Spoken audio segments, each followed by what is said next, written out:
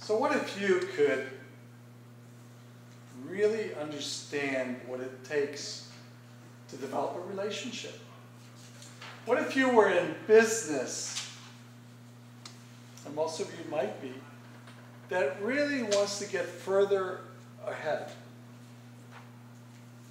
And what if you had been stuck as to what it is that's holding you back from really engaging with clients? In a place called LinkedIn, resides 430 million people of the smartest, best, brightest people in the business world. All of them accessible to each one of you, just like Henry Ford was with his phone to access anybody. All of us is accessible. All of them are accessible to each one of us by simply reaching out to that person. So those are the three things, the connection, conversation, and the conversion to a relationship. Sometimes you call them clients, but it's a conversion to a relationship. But here's a nugget. In between the conversation and in between the conversion, there's a gap, which I call compelling relationships. There's a gap there because you see,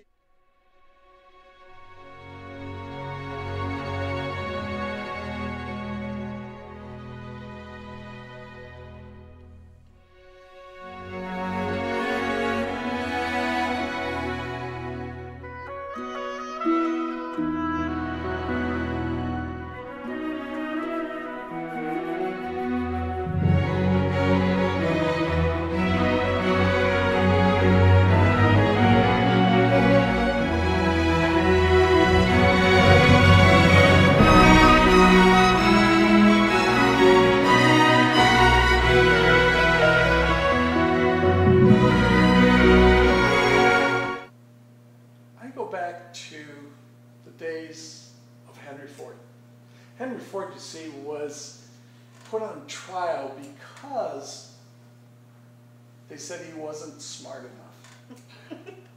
They said that he just didn't have the smarts to run an organization or a company. And they put him on trial. They went to court. How could this be?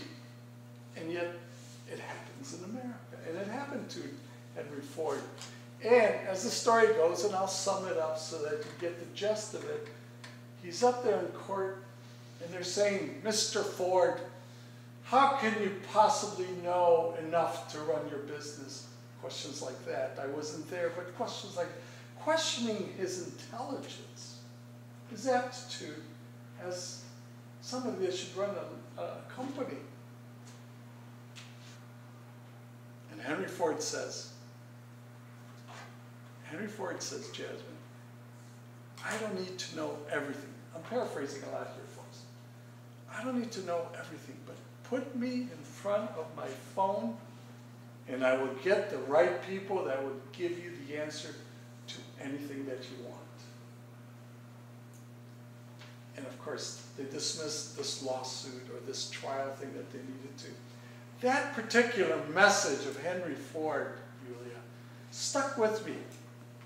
And I thought, how tremendous of a simple idea that really made him obviously very successful, very famous, and we are all touched by cars, whole generations, by that simple idea that he can sit on his desk and summon the brightest and most effective people at any point.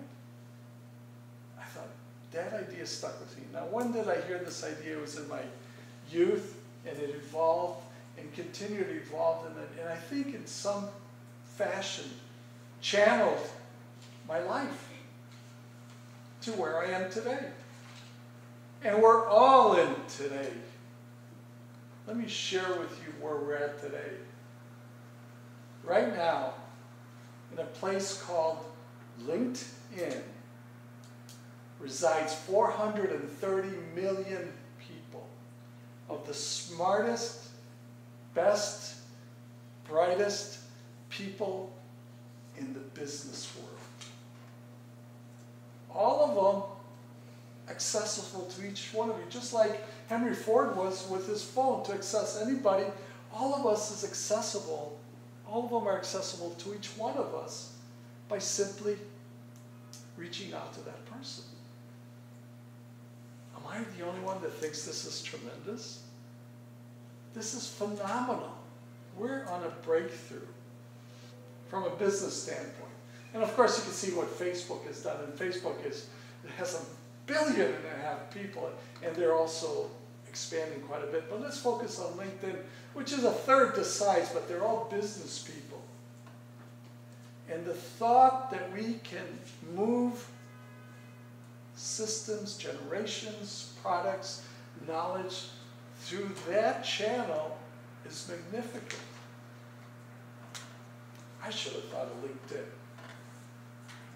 Not being able to think of another LinkedIn, what I've come up with is a three-step process for you to touch in and being able to reach out to that wealth of information, knowledge, and relationships. Because that's what we're talking about, relationships. So here's the first step. The first step is very simple, just as you would with anybody else in a room like this. You simply reach out to them, and we call it a connection. You connect to them. Hi, my name's Rocky Romero. What is your name, Solomon? I see you on your LinkedIn. I see your profile. I see that you're a project manager. You've done these things. I see you very clearly. Number one, connection. Simply because there's an exchange. Solomon could see me on LinkedIn just like you could see me here, and I could see you in real life right here. The connection is absolutely fundamental to starting it. Once the connection happens, is the second step. It's the conversation. The conversation. Just like you would in a room like this, you connect with somebody, you start having a dialogue, a conversation, an exchange of ideas and thoughts, and perhaps some possibilities. The conversation.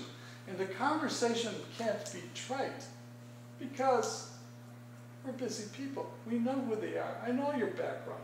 It's almost as if I know who you are by looking at your profile. Your resume is on LinkedIn, and likewise, my resume is on there too.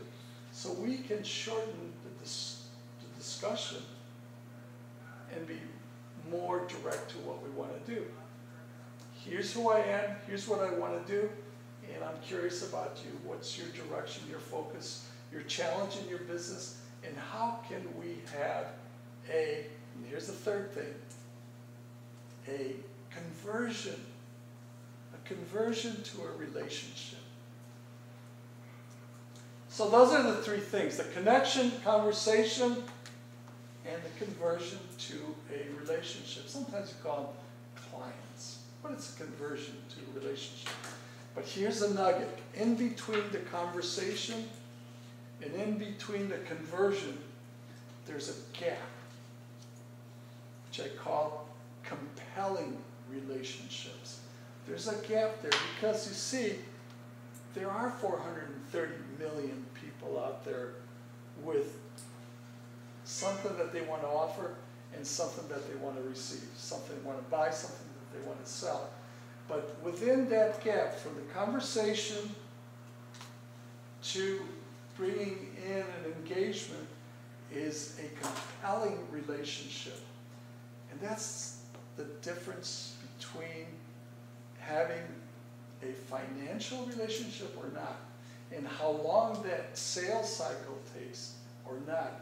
So if you can have a compelling relationship sandwiched in there, that it compels them to have a relationship and therefore have a financial give and take, which enriches not only that pair, but also that group, but also the entire world from compelling relationships. Fellow Toastmasters, I challenge you to go out there in one-on-one, but also one-to-many, and be out there. Be a Henry Ford or whatever the female comparison is to Henry Ford. Be out there and reach out with compelling.